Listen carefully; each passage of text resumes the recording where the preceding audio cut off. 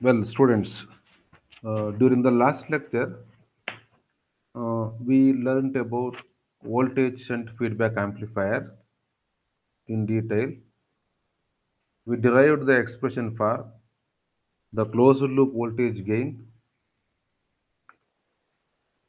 input impedance, output impedance, and also we discussed about the bandwidth of the voltage shunt feedback amplifier in detail. After understanding this, let us now consider some more examples of the operation amplifier. They are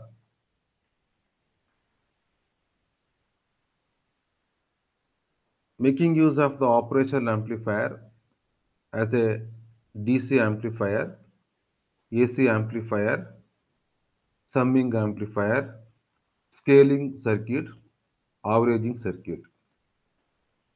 The meaning of DC amplifier is very simple. Ampli- when when the input is DC voltage, the same DC is amplified at the output of the amplifier.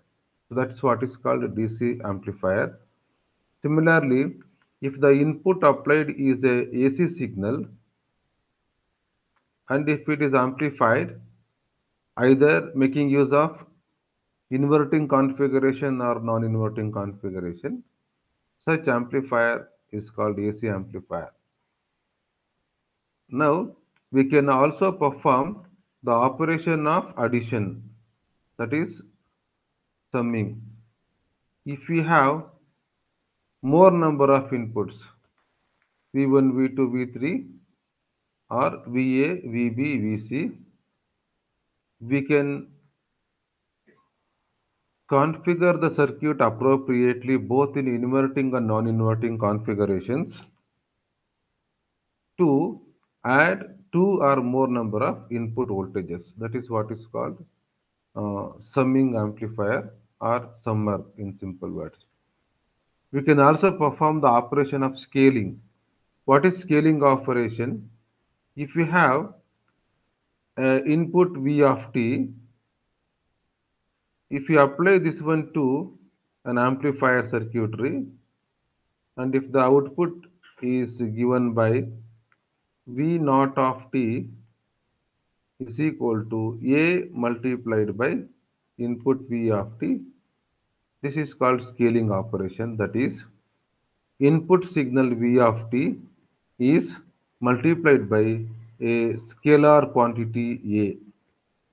A scalar quantity A. So this is what is called the scaling operation and also we can perform the averaging. So what is averaging operation? If you have two or more number of inputs like VA, VB, VC, three inputs are there, let us say, then we can obtain the average of these three inputs. That is, the output output can be made equal to sum of the three inputs divided by 3. This is what is called averaging. So, today's class we are going to learn about uh, DC amplifier, AC amplifier, summing and scaling. Towards the end, if the time permits, we will be discussing about the averaging amplifier also. Okay. So, therefore, let us consider the circuitry of DC amplifier now. So these DC amplifier students basically um, any any operational amplifier any operational amplifier circuitry uh, configured either in inverting or non-inverting can amplify both DC as well as AC input signals. Okay. If we apply the DC input, the particular type of amplifier is called DC amplifier. And if you apply AC input, it is called AC amplifier. Okay. So the meaning is very simple. The output signal changes in response to the changes in its DC level. That's what is called the, the DC amplifier. And this kind of DC amplifier can be realized in three different ways. They are inverting DC amplifiers, non-inverting DC amplifier, and then differential DC amplifier. Okay. And also, in all these cases, in all these cases, as we have heard of this offset voltage. So, as during the first class on this operation amplifier, uh, we learn about this offset voltage.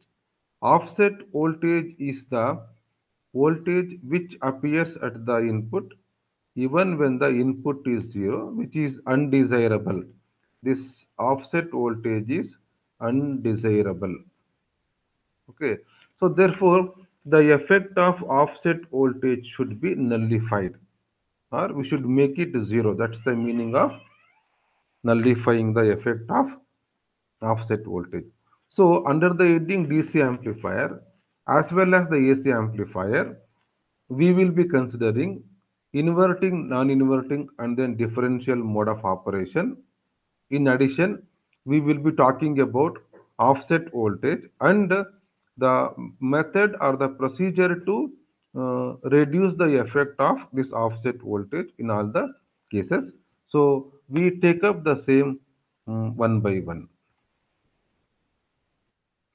Students, uh, look at this uh, DC amplifier.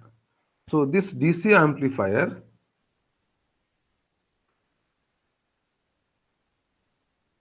is inverting amplifier with offset null circuitry. Mm, this is the input which is inverting terminal. We are applying the input V in to the inverting terminal and hence this is called inverting amplifier. And we know that there is always going to be the problem of offset voltage. Hence, we are uh, in, we are indicating this uh, offset null circuitry. Some of the operation amplifier contain this feature of uh, nullifying the offset voltage by incorporating offset null circuitry, which is shown like this. You are finding it a you are finding here a variable resistor of 10 kilo ohms. So, which is going to control the offset null voltage. That means output offset voltage is made zero by appropriately adjusting the position of this uh, uh, resistance. Okay. So you can make out the way it is connected. The amount of VBE is controlled through this resistance, 10 kilo ohm variable resistance. Thereby, we are going to make this offset voltage equal to external sorry output offset equal to 0 so this is the circuitry of inverting amplifier with offset null circuitry. So similarly one more circuitry is there this is DC amplifier in non-inverting configuration with offset null circuitry here. See, this is the input we are applying to the non-inverting terminal pin number 3 of the operation amplifier. And then this is the variable resistance connected. That means to, this, this is actually internal. This is actually internal to the operation amplifier. In case, in case if some of the operation amplifier does not contain this feature of offset null circuitry within the IC, then we need to provide it externally. That is called uh, offset null circuitry external to the operation amplifier, outside the operation amplifier. We are going to make connection. And one more is there here. This is offset minimizing resistor. This R suffix OM, O stands for offset, M stands for minimizing. So this is offset offset minimizing resistance. This is actually uh, the parallel combination of R1 and RF. So that's what is the value. So what is the meaning of offset minimizing voltage? This offset minimizing voltage is going to reduce the effect of bias voltages on the external offset voltage. It's not going to nullify, but it's going to reduce the effect of bias voltages on the offset voltage. But to reduce exactly to zero the offset external offset voltage, there is a necessity of offset null circuitry if it is provided within the circuitry of the operational amplifier. Else it has to be uh, provided externally. Okay. So this is about external amplifier with offset null circuitry. Mm, in case of some high precision, in case of some high precision uh, uh, operation amplifiers like uh, 741, uh, their offset uh, is going to be very smaller, and then we can adjust that offset null voltage one using making use of one of the pins. Okay. So the next circuitry is This is DC operation amplifier in differential mode configuration. In differential mode configuration. Okay. So here we are finding two inputs. Input 1, input 2. Input 1 is applied to the inverting terminal. Input 2 is applied to the non-inverting terminal. The output is going to be difference between the two inputs V1 and V2 and hence the name differential amplifier. The difference between the voltages at the two terminals, input inverting terminal and non-inverting terminal, the difference of voltage will be amplified and hence the name differential amplifier. And here also we are finding a variable resistor to to nullify the effect of offset voltage. That's why this arrangement is called differential amplifier with offset null circuitry. So here this circuitry of this this this, this amplifier circuitry is going to amplify the input DC voltages and hence it is called DC amplifier. Okay. So till this point we discussed about three types of DC amplifiers. One in case of inverting configuration, other one non-inverting configuration. Number three is differential configuration, right? In all the cases, uh, we observed what is called offset null circuitry. Okay. So next is the same uh, DC amplifier and again with the inverting configuration with the external offset voltage compensation. When the operational amplifier, when the given operational amplifier does not have the feature of, uh, mm, does not have the internal feature of uh, nullifying the mm, output offset voltage, then it is uh, necessary to have an external offset voltage compensatory circuit. So that is what is shown here. Okay. So this is the case of what is called uh, the inverting configuration because uh, the input V in is applied to the inverting terminal. Inverting terminal that is pin number 2 and we are providing here external offset voltage compensation and hence this is the case of DC amplifier in inverting amplifier configuration with external offset compensation.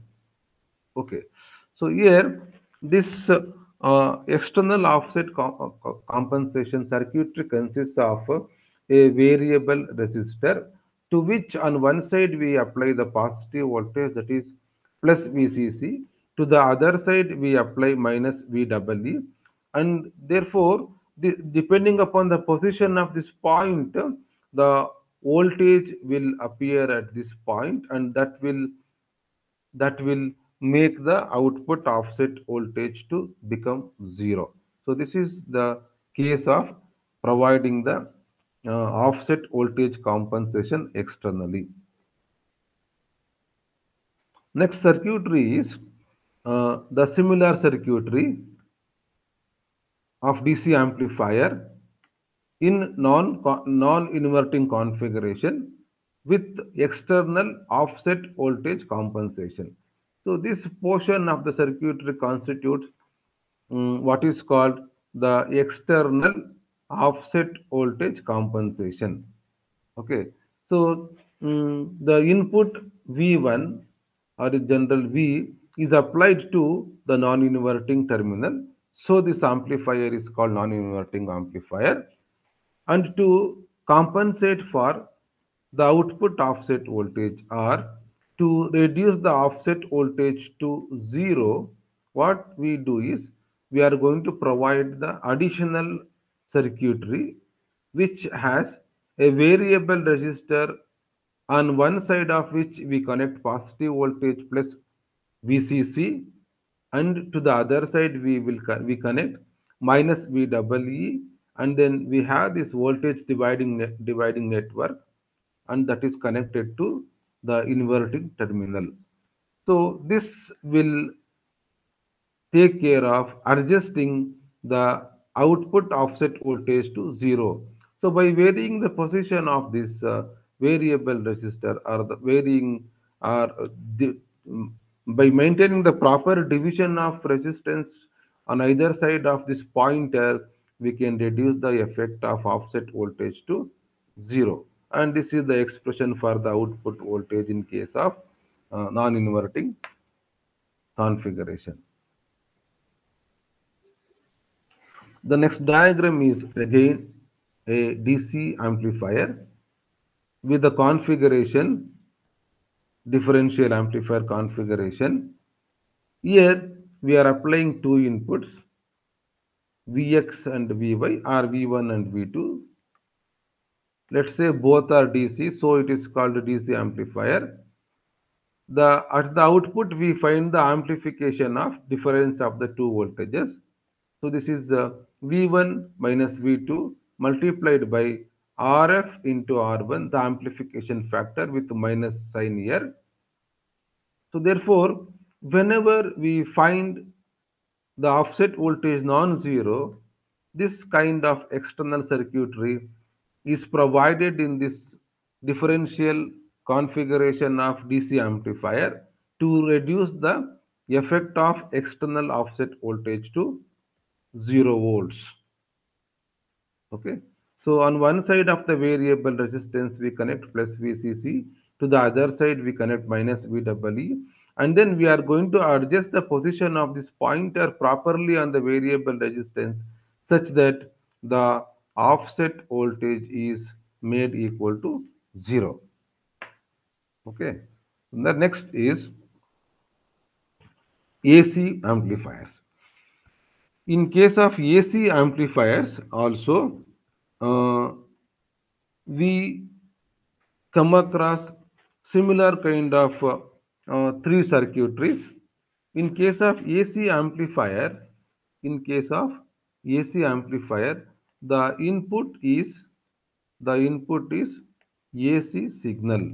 The input is AC signal and hence the circuitry is called uh, AC amplifier. So these operational amplifiers they will respond to DC signal as well as they respond to AC also. So the same circuitry will behave like DC amplifier as well as AC amplifier that depends upon whether input is DC or the input is AC. Okay. So in case of AC amplifier, we come across a component called capacitor That capacitor in this uh, circuitry or in this system is called coupling capacitor. So this is used to connect uh, one stage to another stage. In between two stages, stage 1 and stage 2, we are going to use what is called a coupling capacitor C suffix i. That coupling capacitor C suffix i is calculated using this equation. This equation is F suffix L is equal to 1 over 2 pi C suffix i multiplied by R suffix if plus R naught. We will see what exactly these uh, F suffix L, C I, R suffix if and R naught mean in this equation. F suffix L is the low frequency cutoff or the lower end of the bandwidth. Students, we have learned that you consider any electronic circuitry, we can always plot its frequency response. Means, what is the output of the circuitry for the input with varying frequency from 0 hertz to some number, maximum number. It can go up to infinity also. So we need to, we are not, we are going to plot the response like this. Then we are going to observe what is the lowest frequency for which the circuit performs better and what is the highest frequency for which circuit is going to perform better. The difference we take to calculate bandwidth of operation of the particular circuitry. So therefore, we need to mark what is the lowest frequency and what is the higher side frequency in between which uh, the circuitry performs in a better way. That's what is the meaning of F suffix L. So this is the um, lower end of the bandwidth, I can say. That's what I have written in this uh, frequency response, lower end of the bandwidth. Similarly, FH, which is not defined here, but its meaning is uh, upper end of the bandwidth of the circuitry. Okay. C suffix I is the capacitance between the two stages as I said. This, this, this uh, capacitance are also called coupling capacitance is used to block the DC. This is actually AC amplifier. We are using it to amplify the input AC signal. There may be some DC voltage which may be due to the biasing voltages, biasing circuitry which may appear at the input of the next stage. To reduce its effect, uh, we are going to use this coupling capacitance. Then R suffix IF, it is the AC input resistance of the second stage. In the previous discussions for the last two, three hours, we have studied about the input impedance of the circuitry with feedback, that is F stands for feedback. That's what is the meaning here. Then R naught. R naught is the AC output resistance of the first stage. Output resistance of the first stage. It can also be the source resistance. Source resistance of the first stage means R in. Okay. So this is about the uh, brief introduction to AC amplifier. And this equation, what is appearing here, that is F suffix L is equal to 1 over 2 pi C suffix I bracket R IF plus R naught plus a very important role in the discussion of AC amplifiers. And also this formula is very much useful for working out some of the examples. And from this frequency response of the circuitry, we can find out the bandwidth. Bandwidth is equal to F suffix H into F suffix L. This is the bandwidth. Difference between highest frequency to lowest frequency is called the bandwidth. Okay. So next is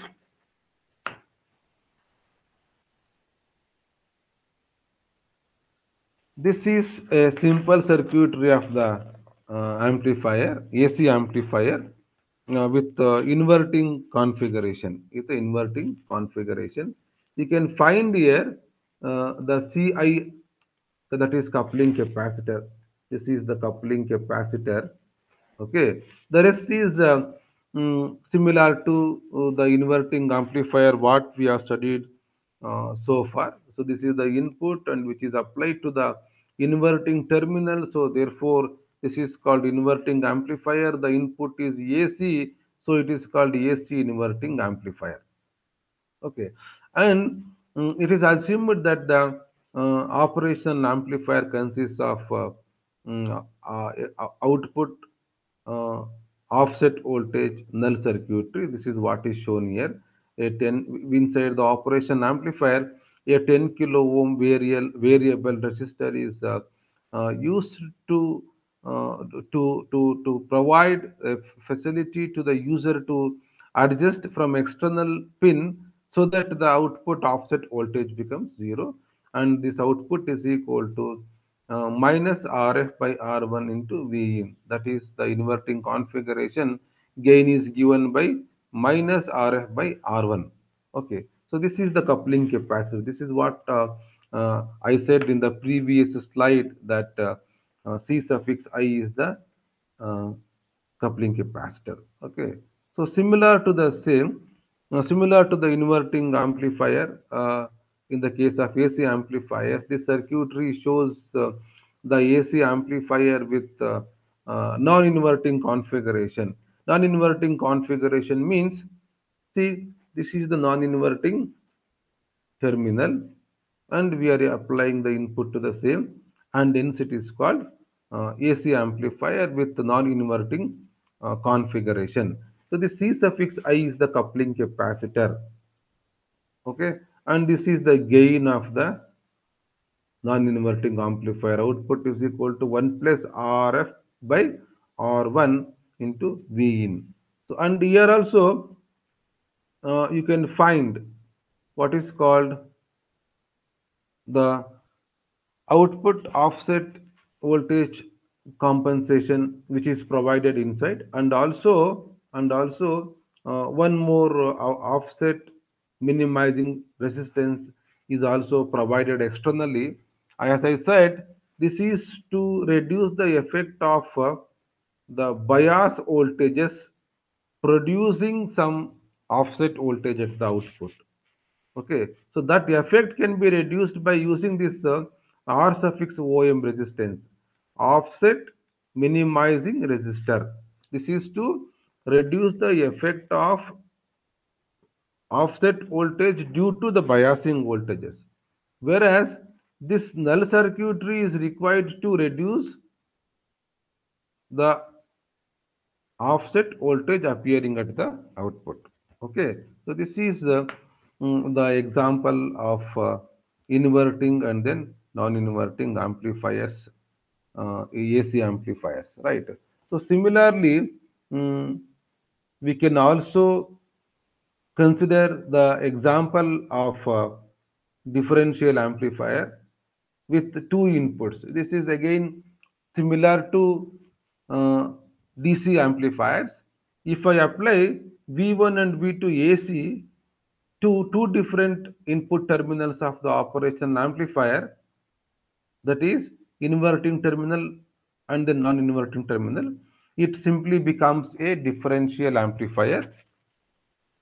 V1, V2 are AC, so it so it becomes AC amplifier. Again, in the similar fashion, mm, we are going to provide uh, the external offset, or if uh, the operational amplifier itself has that feature of uh, nullifying the effect of offset voltage, that can also be shown. Okay, so this is about the DC amplifiers and AC amplifiers. Now, uh, with a reference to the AC amplifiers, what we learned uh, till this point, let us just uh, uh look at one numerical example. Uh, just I'll go back to the circuitry. Students, you have to remember the circuitry. See, this is AC amplifier with the inverting configuration. Now we are going to consider a numerical example based on this only. So therefore, I am just showing you the circuitry because I'll be going back to the problem statement and then I'll take you to the paint sheet blank one to solve the problem. So therefore, remember the circuitry AC inverting amplifier input is applied to the inverting terminal output is equal to minus RF by R1 into Vin. This is sufficient. The rest is uh, uh, very easy that we can work out the problem. So in the circuitry, what I shown you people now, that is AC inverting amplifier, uh, the data is given like this. Ri is equal to 50 ohms, that is uh, the input uh, resistance. Ci is equal to 0.1 microfarad. The Ci is the coupling capacitor. R1 is 100 ohm, that is input resistance. RF feedback resistance is 1 kilo ohm. Uh, load resistance is 10 kilo ohms and supply voltage is uh, plus or minus, uh, 15 volts. Uh, the question is to determine the bandwidth of the amplifier. I told you people that is the bandwidth is the range of voltages uh, in which the circuit is going to perform well. Okay, so that is the meaning. And now I'll take you people to the paint screen to work out the problem.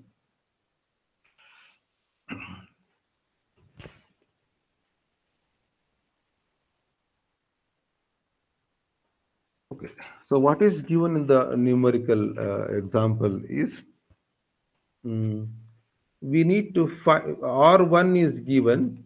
I think R1 is equal to 100 ohms. It is given we know that this R suffix IF, we have learned it long back only uh, under the heading inverting amplifiers during the lecture 1 only and that R RIF is equal to R1 uh, approximately equal to R1. So we have this R1 is equal to 100 ohms. This is one point. And then uh, the source resistance is given here. What is the source resistance? source resistance is R suffix okay R suffix in see it is given as 50 ohms this itself is also equal to R naught okay and then we have the formula for F suffix L I am going to make use of that formula the F suffix L is equal to 1 over 2 pi 1 over 2 pi into C suffix i. What is the value of C suffix i here? C suffix i is 0.1 microfarad.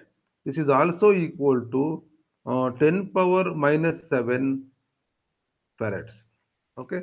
So I am going to put it here as 10 power minus 7 farad, farads. Then the rest is, uh, uh, what is it? RIF in the bracket we are going to have RIF plus R naught. So RIF is 100 ohms, R naught is 50 ohms. Therefore, this is 100 plus 50. Students, if you use the calculator and simplify, you are going to get this FL as 10 power 6 kilohertz. 10 power 6 kilohertz. This is one data. So what do we want to find actually? we want to find the bandwidth of operation remember this to that to, to find this one we need fh and fl fl just now we have calculated fh we have to find out this fh is directly connected with actually the gain of the amplifier that's very important okay so in this in this case of inverting amplifier we know that the gain of the inverting amplifier is given by minus RF divided by R1. Mm, we have in the data RF is equal to 1 kilo ohm or 1000 ohms and uh, R1 is equal to uh, 100 ohms. So therefore this ratio is minus 10. So therefore value of AF is equal to uh, minus 10. So now uh, what is called the higher side of the frequency of operation denoted by f suffix h is given by unity gain bandwidth UGB multiplied by another factor k divided by a suffix f. UGB is known to all of you. Unity gain bandwidth. K is a factor. K is a factor which is defined as ratio of RF divided by R1 plus RF. RF is given, R1 is also given. Substitute simplify. Here, what is RF? RF is equal to, it's given in the formula RF is equal to 1 kilo ohm. Okay. Then R1 is 100 ohms and then again RF is equal to 1 kilo ohm. If you substitute and simplify, you will get the value of uh, K as 0.909 is the value of K. So now I am going to substitute all these things in this in this formula for FH. So here unity gain bandwidth is 10 power 6 this is multiplied by k that k is equal to 0 0.9 0 0.909 mm, 0 0.909 correct? And then this is divided by AF AF value is 10 so using the calculator if you simplify you are going to get the answer F suffix H f suffix h is equal to 90.9 kilohertz. 90.9 kilohertz.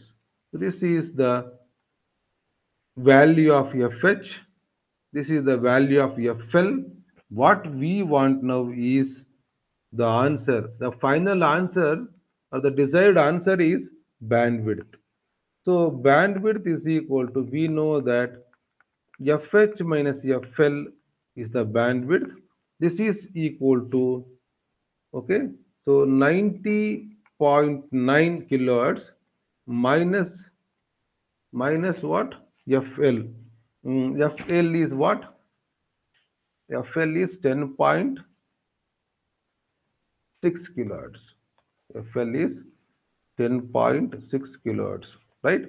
This is fh this is fl this difference is what is the difference between the two? Will give the bandwidth now. The difference is 80.3 kilohertz. So this is the desired answer.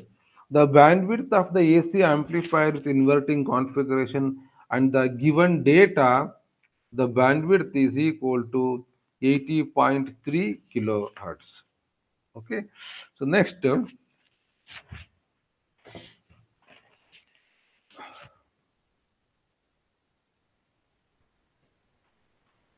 So some more applications.